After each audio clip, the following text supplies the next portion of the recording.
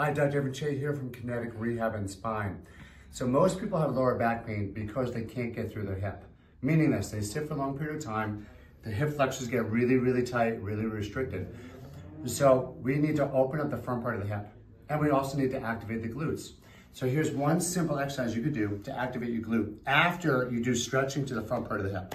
From here, you wanna bring this knee up to the chest, right? So I'm bringing this knee up, I'm driving this toe up as well, and I'm gonna rest my head down. From this position, you can lift your butt up in the air. As you're lifting your butt up, you're actually isolating out the glute. Not complete isolation, because that's impossible. But we're biasing the glute, and we're creating glute activation as we're doing what's known as a leg lock bridge. What I would suggest is you doing that a couple times a day. Go slowly up, slowly down, about five seconds up, time under tension, five seconds down, and do both, both sides.